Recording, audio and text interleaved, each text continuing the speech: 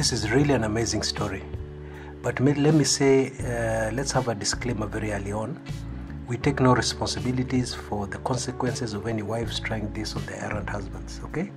On to the story. This very long suffering, typical Kenyan wife knew husband very well, and especially his promiscuity. Yeah? Kulalalala nje na wanawake. Yeah? Anything in skirts. Even if another man wore a skirt, the man would express interest. That's how serious a dogger this man was. But she stayed in the marriage for the sake of her children. And she did this at great risk to her own life because, as you all know these days, husband's infidelity can lead to other very serious consequences, like diseases that have no cure. Okay? Admittedly, even a wife's infidelity can do the same, but uh, wives more or less tend to be faithful. Okay? Well, the couple moved into this new neighborhood, and as usual, the husband started playing his games. It did not matter that the focus of his attention was actually the married woman next door. Yeah? And this married woman next door, husband used to travel a lot. He used to travel all the time. In fact, he was rarely at home. Yeah?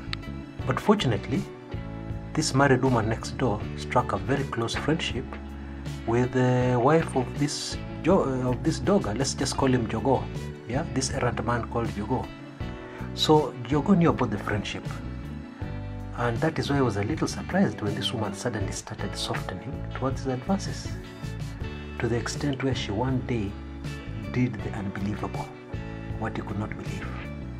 She actually invited him for a night of passionate love making as long as he followed the instructions to the letter. Ai, hiyo ilikuwa rahisi sana. But Jogo figured that, uh, you know, women nowadays are desperate, blah, blah, blah.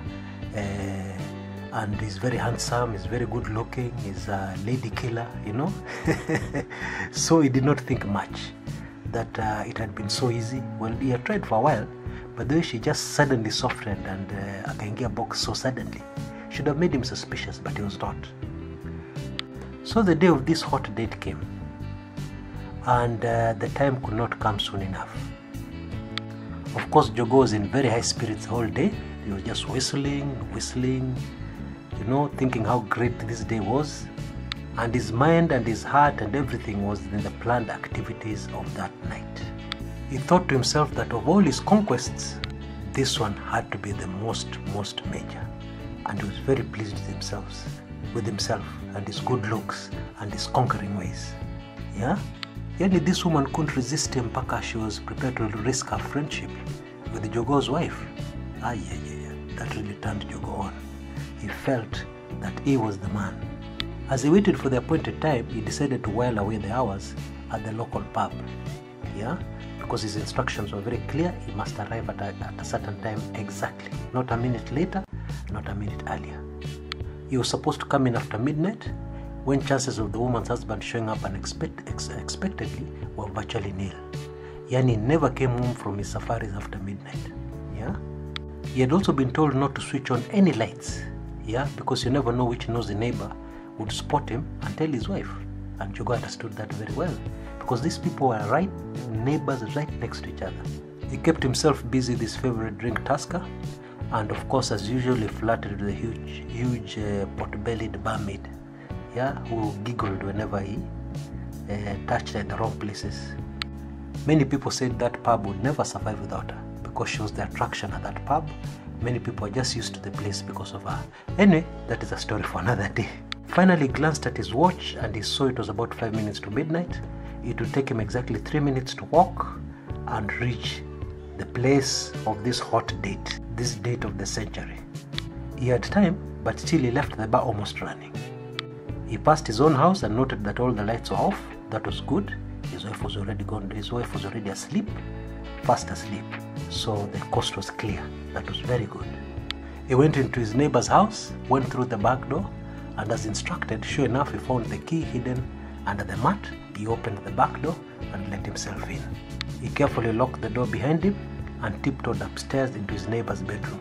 He knew exactly where it was because the houses were all the same. Yeah, you know those houses where every house is exactly the same design, yeah, and your neighbors. Yeah, you get my idea. So you even have a very good idea what estate this might have been. The woman was waiting for him. The first thing that hit him as he entered the bedroom was her perfume. Very feminine. It also smelled like wildflowers.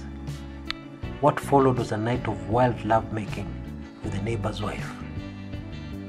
It was just exhausting, it was so nice. He fell into an exhausted sleep, and by the time he woke up, the sun was already shining through the still drawn curtains. Events of the night came flooding back, and he turned around with a wide smile to face his neighbor's wife with the thought of at least being intimate at least one last time. Instead, he got the shock of his life.